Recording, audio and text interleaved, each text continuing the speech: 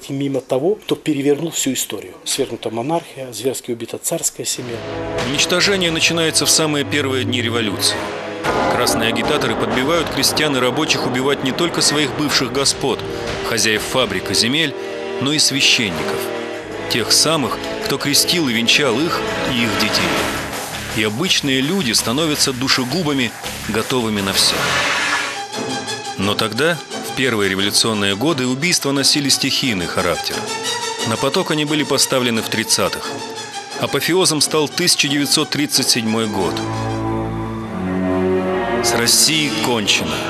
На последях ее мы прогалдели, проболтали, пролузгали, пропили, проплевали, замызгали на грязных площадях, распродали на улицах. Не надо ли кому земли, республик до да свобод, гражданских прав? И родину народ сам выволок на гноище, как падаль. О Господи, разверзни, расточи, пошли на нас огонь, язвы и бичи, германцев с запада, монгол с востока, отдай нас в рабство вновь и навсегда, чтоб искупить смиренно и глубоко Иудин грех до страшного суда.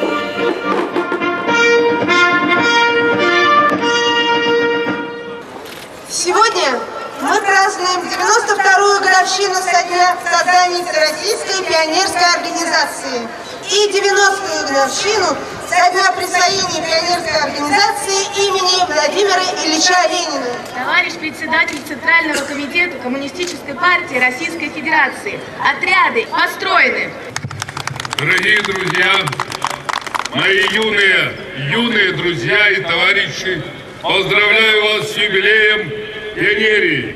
У древних стен Московского Кремля пред мавзолеем, где лежит великий Ленин. С улыбкой, глядя на ликующий народ, с трибуны мавзолея каждый год приветливо махал рукой товарищ Сталин. Мы пройдем воды.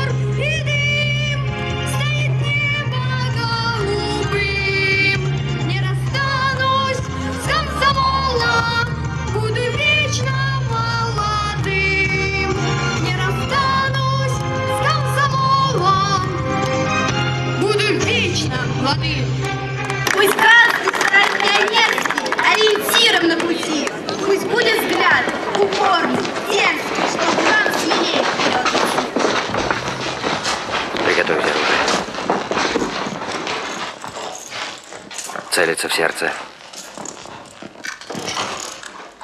Встаньте все в ряд. Где?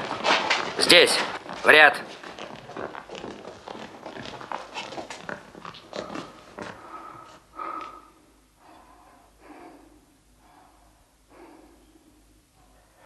Ввиду того, что ваши родственники в Европе продолжают наступать на советскую Россию,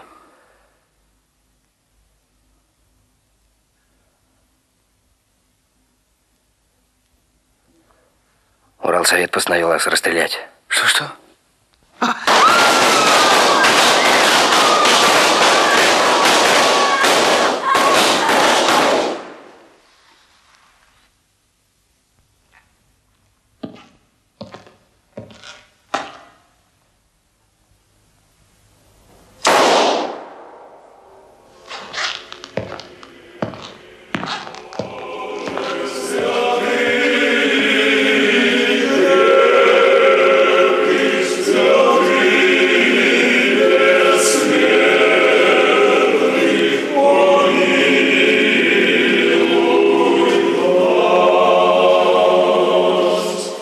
Семнадцатый год, год столетия убиения царской семьи, мы должны все осознать и покаяться за то, что произошло, за ту трагедию, которая произошла при попустительстве русского народа. Храма сего и все православное благочестивое казачество, да поменет Господь Бог во царстве Своем, всегда ныне и присно, веки веков.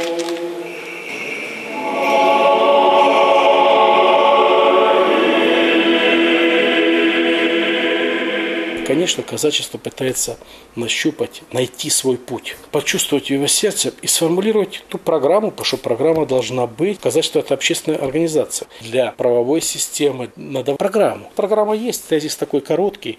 Православное казачество может и должно считать своей идеологией сверхзадачей, программой, национальной идеей, созидания в соработничестве с Церковью Христовой нашего государства российского, нашей Святой Руси. Можно созидать другое государство, не Святую Русь. Казаки не будут созидать не Святую Русь, только Святую Русь. Юбилейным знаком 200 лет конвоя награждается вахмистр конвоя Пивник Илья Иосифович. Люба! Люба! Юбилейным знаком 200 лет собственный конвой его императорского величества награждается Аховенко Александр Сергеевич. Люба! Люба! Жуери народом! Более ста лет назад роль казачества была намного выше на рубеже Российской империи и были тем э, вот камнем преткновения до неприятеля, который не мог э, пройти в Россию, не столкнувшись э, с казачьими войсками. Сегодня казаки несколько разнородные, а государство не готово воспринять их вот ту важную функцию, которая предназначена ей историей. Монархические воззрения ряда ученых, они имеют место. Многие монархии Европы, Азии успешно существуют, и им никак не мешает, а более того, укрепляет государственный строй. Свою историческую память нельзя идеализировать, но и оглуплять ее тоже совершенно не следует. Это никакой положительной пользы не несет ни нам, взрослым людям, ни молодежи, в умах которых уже, наверное, путаница от различных учебников по истории нашего государства. Казачество от России неотделимо, и, безусловно, мы надеемся, что наши исследования несколько помогут воссоздать историю и важность этого явления. Федерации очень тяжелые. Все мы испытываем во многом экономическую нужду. Ситуация действительно тяжелая. Но кроме того, против нас развязана очень серьезная информационная война. Если мы внимательно послушаем СМИ или выступления некоторых общественных деятелей, политиков, то мы можем услышать следующее, что нам здесь всем не место. Россия должна стать либо частью Китая, либо филиалом Соединенных Штатов Америки, либо вообще распасться и исчезнуть с мировой, с мировой геополитической и исторической сцены. Мы, казаки, мы всегда стояли на страже духовной безопасности России. И мы говорим, что мы этого не будет. Пока мы здесь, пока мы здесь на территории курортного района, пока мы на территории северо-запада, пока мы на территории России, Россия будет, была и есть великой державой. И наши противники всегда будут считаться с этим.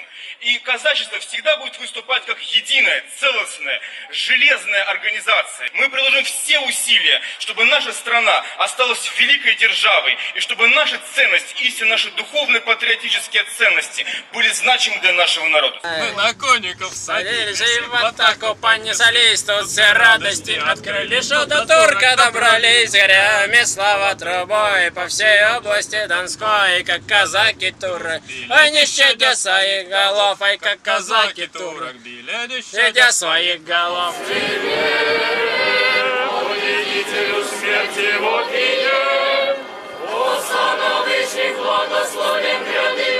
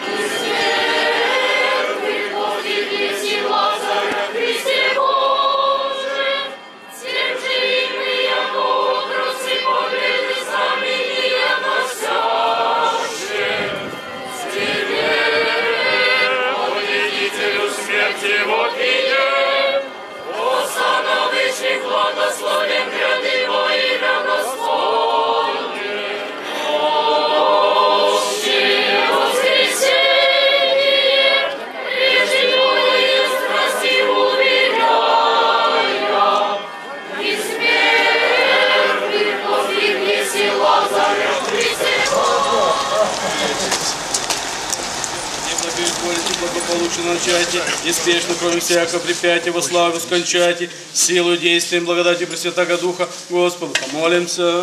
Господи, помилуй. Я еже труждаюся делателем благопоспешно, со всяким довольством, силу действием благодати Пресвятого Духа, подайте Господу, помолимся. Сердце человека является полем битвы между Богом и дьяволом.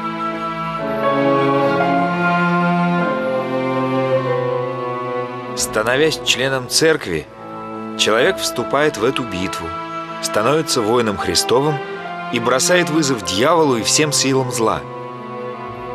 Поэтому священник поворачивает новобранца лицом к западу, стороне духовной тьмы, и трижды спрашивает, отрекается ли он от сатаны. Отрицаешь ли сатаны и всех дел его, и всех ангелов его, и всего служения его, и вся гордыни его?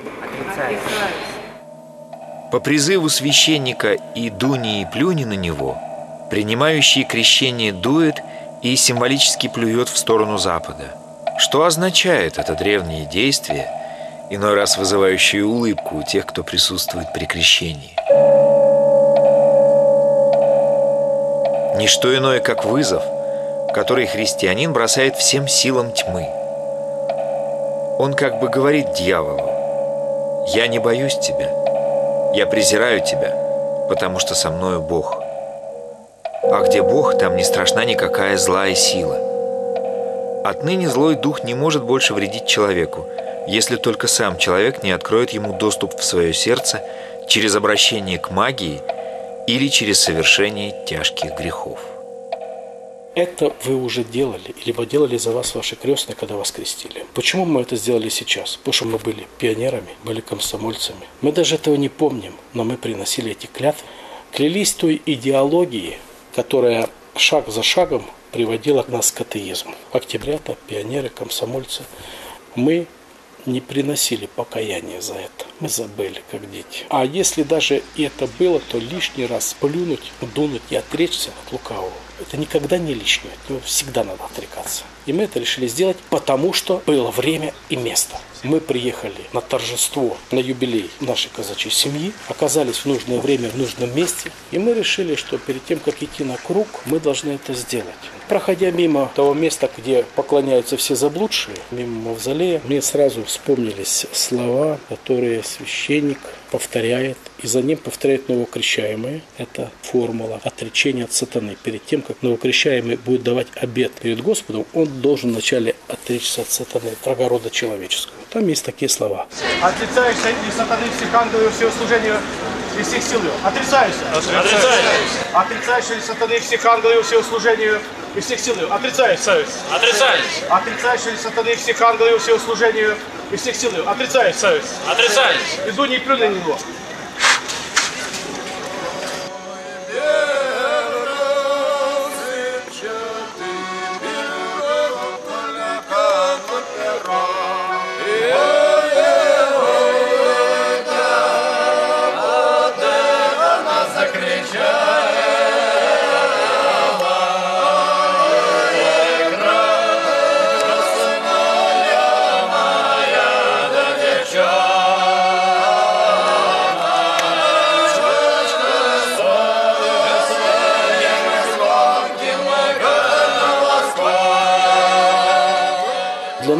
Оказалась поездка промыслительная и знаковая, потому что наши конвойцы, пивник Илья и Тимофей, его сын, в форме конвоя памяти государя-императора Николая II стояли на сцене с рубием с изображением государя-императора и царевича Алексея. Конечно же, они были замечены всеми. И после круга к нам подошли казаки с Новохоперска. Сказали, что им любо то, что мы возрождаем память государя-императора Николая II. Они сказали, что они с нами единого духа, они так же, как и мы, верно подданные государя-императора. Тем более, что они этим уже занимаются. И хотели бы взять у нас преемство. Мы являемся почитателями э, царской семьи, э, царских мучеников, страстотерцев.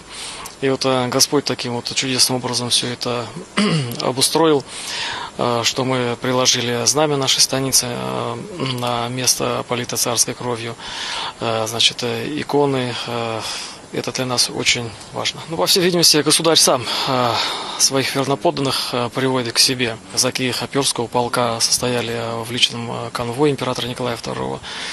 Вот. И для нас, э, монархистов, почитателей царской семьи, это, конечно, мы принимаем с благодарностью. Они приехали 30 августа состоялся сход, где это преемство было им передано. Поскольку у нас уже создана общественная организация «Конвой памяти», «Конвой святого царя Стостотерца», государя императора Николая II, зарегистрировано в Минюсте, это преемство было им передано.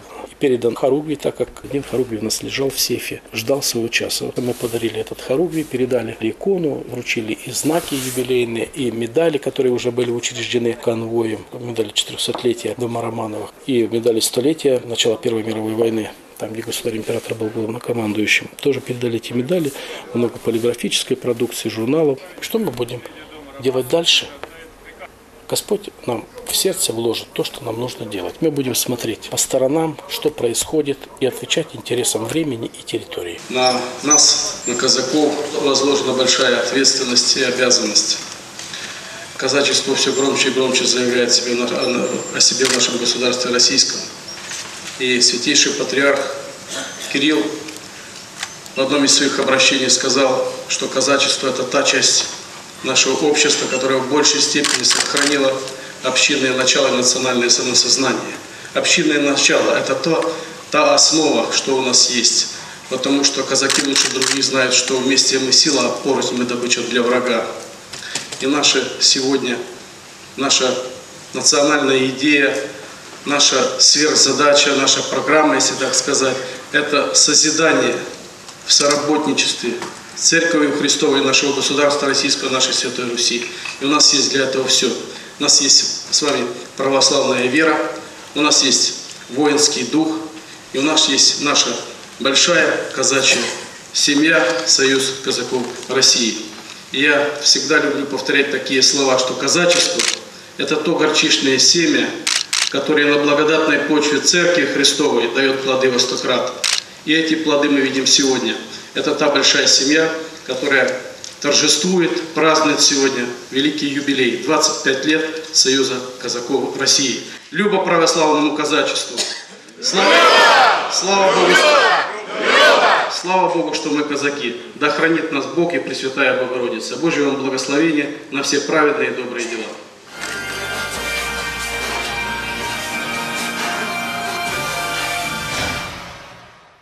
Мы сейчас находимся на стадии такого перехода к новому смыслу жизни. В сентябре был крестный ход в Петербурге. Да? 100 тысяч человек. Причем я вот сейчас получил э, социологический опрос, э, который мы проводили, наш центр в Петербурге, во время крестного хода. Э, прочитал этот материал. Оповещения практически не было, только сарафанное радио. Один другому сказал, третий, четвертый. Публикации было мало. Из интернета узнавало только 8% участников из 100-тысячного хода. Многие присоединялись по ходу. Почему? Потому что радостное событие, вот, потому что хорошее событие, потому что идут красивые люди, потому что очень хороший лозунг «Вера, Отечество». Вот люди это называют. То есть в обществе, несмотря на зигзаги, несмотря на колебания, какие-то провалы, во-первых, растет религиозность. Она все равно растет. Что бы мы ни говорили – растет. Она может какой-то период маленький спад, опять вперед. Радикальное меньшинство, которое традиционно э, концентрируется, и вы знаете, практически во всех странах, в средствах массовой информации. Вот как-то их туда затягивает. Они понимают роль средств массовой информации. Это радикальное меньшинство. Они, конечно, пытаются, влияют, сбивают некоторых неустойчивых людей – с правильной позиции, но они не отражают настроение большинства нашего населения. Сейчас у людей после 70 с лишним лет советской власти, десятилетия 90-х годов, начала 2000-х, уже все сложилось, все понимание, что эти пути-то пройдены. Ну чего там, ну кто-то призывает там э, молиться Иосифу Виссарионовичу, кто-то, ну это тоже пройдено, уже все это было уже все это прошло, и закончилось печально. Там кто-то призывает, как говорят коммунисты, у нас есть программа, мы все разработали, тоже уже все это пройдено. Либералов просто не воспринимает на дух, потому что только что это пережили. И сейчас вот такой вот не то что поиск смысла, а уже тяга к смыслу, тяга к России. У меня вот есть книга «Вернуться в Россию» называется. Вот идет возвращение в Россию. То есть нашу любимую родину, э, потому что мы долгое время жили не в России. Мы жили в Советском Союзе, жили какой-то вот либеральной Российской Федерации. Блуждали постоянно. Да, это, это вот очень хорошее слово. Мы постоянно блуждали.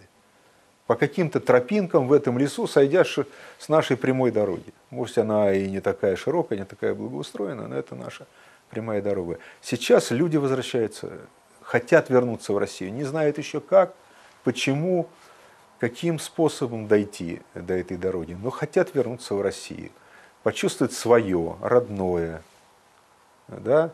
И я думаю, что вот такие явления, вот как этот крестный ход, который без особого агитации и пропаганды собрал 100 тысяч человек, вот, я думаю, если чуть-чуть э, поагитировать, то соберется и 300, и 400, и 500. Без исполнения заповеди о ношении бремен друг другу ничего не получится, никакой национальной идеи, никакого государственного и народного процветания. Все разлетится в молекулы и в атомы.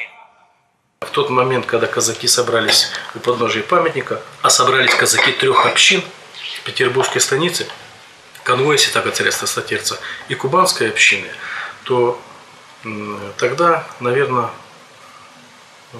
соборным разумом общины казаки приняли решение, а это поистине был казачий сход, сход у, в такой э, торжественный день, юбилейный день праздновать 300-летие Александра Невской лавры. И вот тут подножие э, памятника святого благоверного, благоверного князя Александра Невского казаки принимают решение основать объединительную общину Невская Сечь которая была бы наследницей воинской, культурной и духовной традиции нашей Святой Руси, начиная с древних времен, и покровители этой общины, э, соответственно, святый благоверный великий князь Александр Невский. Мы все русские в этой стране, да, и татары, и евреи, и русские, и кто угодно, все мы русские. Такое обобщающее понятие, такое, все говорили, США плавильный котел. Вот плавильный котел – это мы – вот русские – это общее название этого котла, где мы все варимся в этом котле, и рождается, возрождается цивилизация.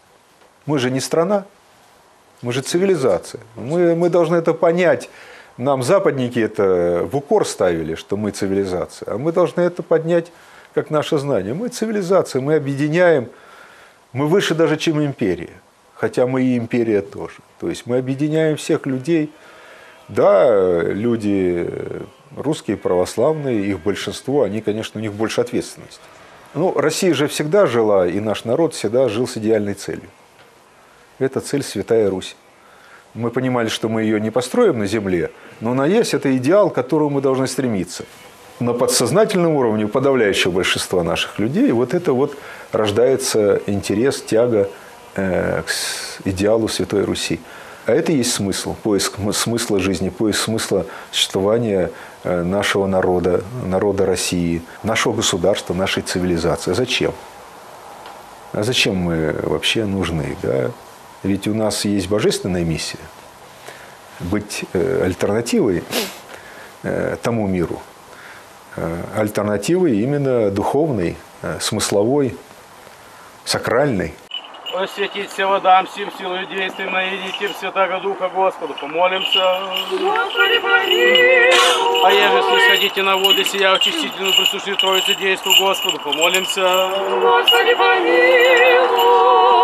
А еже сокрушитесь сатане под ногами нашими вскоре и разоритесь всякому совету лукавому движенному Господу. Помолимся.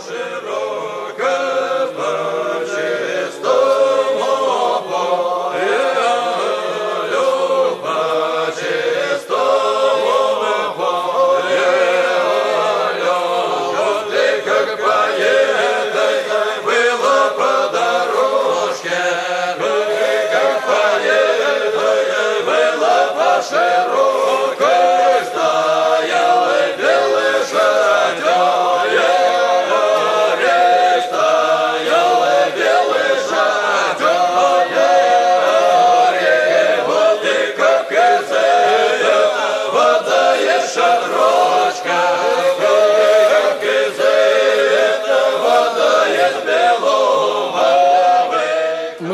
свое дело. Наша казачья община, конвой памяти государя-императора Николая II. Мы установили в центре города на здании библиотеки поклонный царский крест, где на граните выбита царская семья. и многие другие наши духовные начинания, и общественные организации, эти общины, которые составили ядро нашего духовного содержания. У нас сейчас и на фасаде здания появилась вывеска «Библиотека памяти государя-императора Николая II». Наверное, она первая в России библиотека памяти, которая 19 тысяч единиц хранения на сегодняшний день. Вывеска в центре города. Библиотека памяти. Но когда задают вопрос, а куда вы идете, то я люблю говорить, мы идем на свет Божий. Мы ему идем навстречу, он нас просвещает. Я также хотел бы наградить этой медалью, которая является историческим артефактом. То есть страшной трагедии, наследие которое мы чувствуем и сейчас. И на этой медали на обратной стороне выгравированы такие слова. Благодарные потомки казаки Невской Сечи на молитвенную память о погибших воинах русской императорской армии в Первую мировую войну. И мы хотели бы наградить отца Геннадия Беловолова, верноподданного государя императора Николая II. Спасибо, Аксиос. Господи,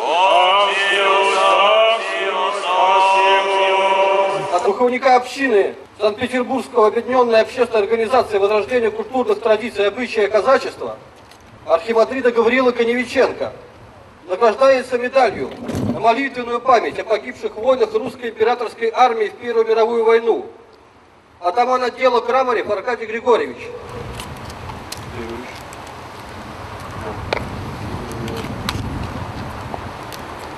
Служу России и казачеству.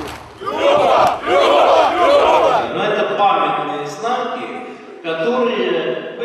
в честь столетия этого э, великого дела. Это памятный, памятный знак в честь столетия. Дорогой Владыка, разрешите э, по нашему благословению и по усердному печенью архипатрита Гавриила, это настоятель храма Тихинской иконы Божьей Матери города Сестрорецка, он является учредителем Невской Сечи.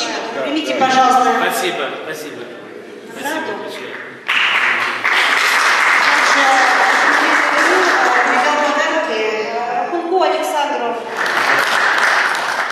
Когда в 1944 году последователи уходят из Тихвина, они отступают и уносят оттуда чудотворный образ Тихвинской иконы Божьей Матери. Они увозят в Псков, а потом в Ригу. С Риги правящий на то время э, э, архиерей уносит икону через Западную Европу в Америку. Но он завещает своему приемному сыну, что когда в России будет благоприятная обстановка, когда будет восстановлен Тихвинский монастырь, икону передать в Россию. Ее сын, протерей Сергей Гарклавс, в 2004 году передает икону в Россию. Это были грандиозные торжества в нашем государстве российском. И Господь сподобил тогда, и батюшка Сергий Коломеец тогда меня позвал в Александро-Невскую лавру, где была святыня. И в этот день, в этот день я попросил батюшку, мы за, освещали закладной камень нашего храма. Именно в тот день. А через несколько дней мы поехали в Тихвин сопровождать икону в Тихвинский Богородичный Успенский монастырь. И вот то событие, встречи Тихвинской иконы, второе обретение, такие были духовные впечатления, что э, соборным разумом и духом святым нашей общины и э, рукой иконописицы казачки Елисаветы было написано икона второе обретение Тихвинской, на которой изображена Церковь Небесная, Церковь Земная. Три иконы было написано, одна подарена отцу Сергию, э, значит, одна митрополиту Владимиру, а одна архиепископу на тот момент Тихвинскому Константину, ректору духовной школы. И вот э, 25 июня этого года произошло очередное чудо. Ну, то чудо, что храм есть за эти годы, построен храм нашими с вами трудами и нашими с вами молитвами. И вот 25 июня я находился на привокзальной площади, там беседовал с товарищем, ко мне подходит э, наш сестричанин, говорит, ты не хочешь поздороваться с э, отцом Сергием? Я думал, что это наш батюшка. Я говорю, а где он? Он говорит, там у меня джипе. Я подхожу, открываю дверь, смотрю, другой батюшка. Я говорю, батюшка, Христос после нас, говорит, если будет. Смотрю, это отец Сергий Гарклавс. Говорю, батюшка, тут же храм, который как раз был заложен тогда, когда возвращали святыню. И батюшка приезжает, приходит сразу в нас, наш храм, и мы ему дарим вот такую икону, которую наши казаки пронесли многими крестными ходами. Я говорю, батюшка, вот и вы на иконе. Он мне дарит свою книгу, открывает, в этой книге эта икона. Вот такое чудо, дорогие братья и сестры, произошло. И э, 2004 год Патри Сергий класс привез икону, а в этом году перед десятым престольным праздником, который сегодня мы празднуем, он посетил наш храм, и мы ему подарили икону. Я говорю, батюшка, ну, наверное, для монастыря. Он говорит, нет, я э, икону по, в свою келью отнесу. Дорогой отец-настоятель, дорогие отцы, дорогие прихожане, жители нашего города Сестрорецка, да и района, может быть, тут кто-то есть. Дорогие воины, царского конвоя, казаки. Желаю всем счастья, здоровья и самое главное любви. Любви друг к другу, чтобы э, из этого храма она вот таким вот кольцами расходилась по всему нашему городу Сестрорецку, по всему району и по всей нашей земле. С праздником! Спасибо. Спасибо. Поздравляю вас с юбилеем десятилетием нашего храма. Я люблю коротко говорить. Я рад, что я вот такое семя посеял, и вот оно выросло. Мне не стыдно. Хочется закончить с такими словами из песни, которые сочинили наши казаки. «Возродись же, Русь святая, да покайся за царя, на коленях умоляя, пусть Господь простит тебя». Прочти нам, священник, псалом боевой, И силою данною свыше Благослови нас на битву со тьмой, Чтоб каждый молился и слышал, как дышит под толщею снега глухарь, Как плещется в мрежах улов, Как в колокол благовествует звонарь, И был для присяги готов. Мы ведаем сроки и правим мечи, И в чистых младенческих лицах Провидим победу в кромешной ночи, И смерти никто не боится. Весь мир поднимается за сатаной, на Русь для последней облавы. Но верим, что царь поведет нас на бой С оружием чести и славы. Прочти нам, священник, псалом боевой силою данною Богом Благослови нас на битву со тьмой Державным пророческим слогом. В истории России преемство живого опыта казачьих традиций было прервано. Атеистическая власть предприняла значительные усилия по расказачиванию. Слово «казак» не вычеркивалось, но в понятие «казак» пытались вложить совершенно иное идеологическое содержание. Казак всегда мыслил себя вольным человеком. Но понимание свободы в православном казачестве носило глубоко христианский смысл. Она воспринималась не как вседозволенность, не что хочу, то и ворочу, а как добровольное, самоотверженное служение Богу, Отечеству, Церкви Христовой, подчинение казацкой дисциплине. Хотел бы особо подчеркнуть, определяющей характеристикой казака является именно его внутренний мир. Ни штаны с лампасами и хромовые сапоги, ни шашки и нагайки, ни какая-то другая внешняя атрибутика, как я сегодня уже сказал после литургии, но подлинно христианское мировоззрение, христианское понимание своего долга и своего служения. Вера – вот основа жизни казачества – если это нет, не так, если у казака нет полноценной церковной жизни, если нет участия в таинствах, ежедневной молитвы, христианского образа жизни, то такой человек лишь ряженый. Он носит казачьи одежды, но душой остается далек от того, чтобы называться казаком. Казачество призвано быть авангардом православного воинства – и осознание столь высокой ответственности должно придавать вам силы и мужество, чтобы с достоинством нести свое непростое служение. Повторяю, православие – это образ жизни для казака, и по-другому быть не может.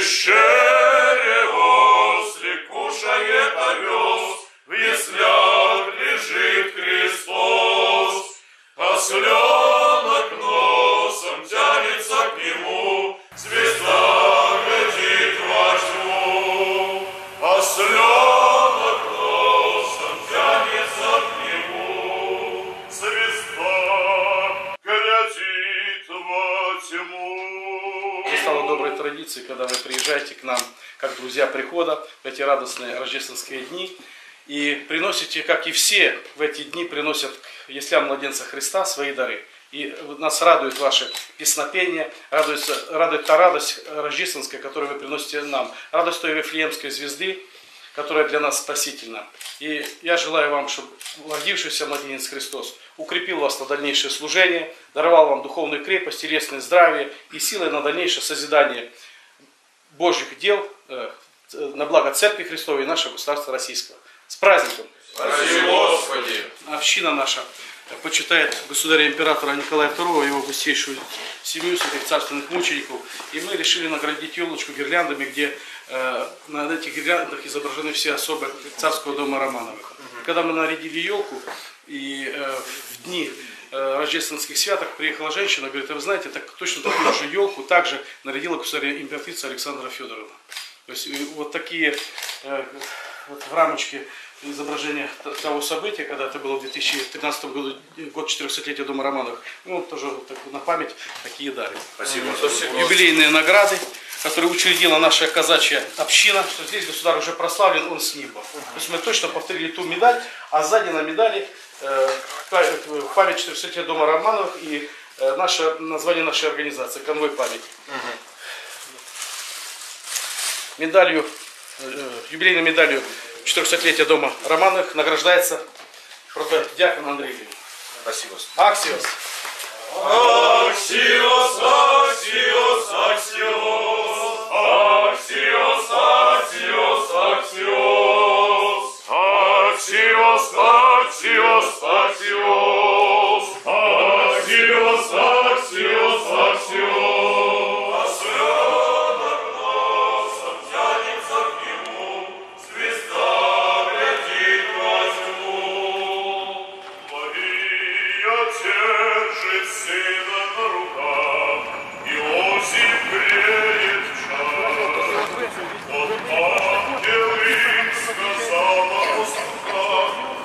принесли к младенцам, э, если младенца Христа, свои дары. Вот он отличается в этом году. кушает овес, в яслях лежит Христос. Осленок носом тянется к нему, звезда глядит во тьму. С Рождеством Христовым. Рождеством Христовым. Благодарим. Спасибо. Огромное. Сейчас все завтра. Спасибо. Спасибо. Много, да. С праздником. Спасибо, Господи. Спасибо, Господи. Ангела Сокольчика вам, да. Всего.